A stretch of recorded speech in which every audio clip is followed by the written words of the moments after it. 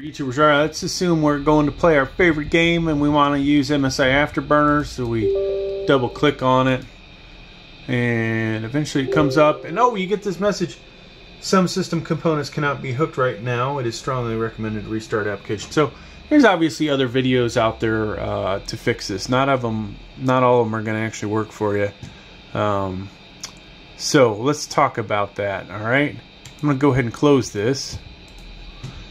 Now, if we uh, open up our computer, let's assume you have this installed on your C drive, like most of us.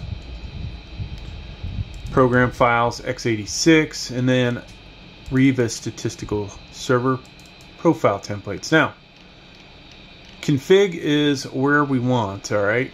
And let's say you right click on this, open with Notepad.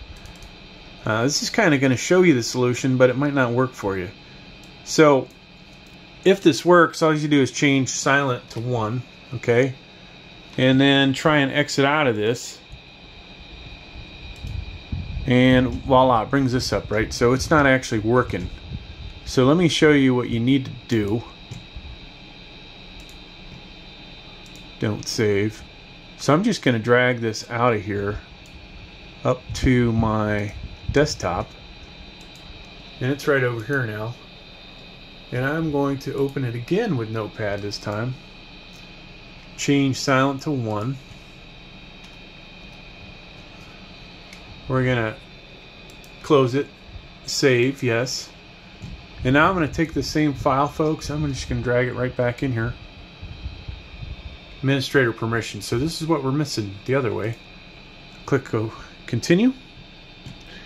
And then from here, folks, what are we going to do next? Let's test it out see if it goes away. And voila, problem solved, okay? So uh, it's as simple as that. If you uh, tried to do this and, you know, it didn't work, this is uh, most likely your solution.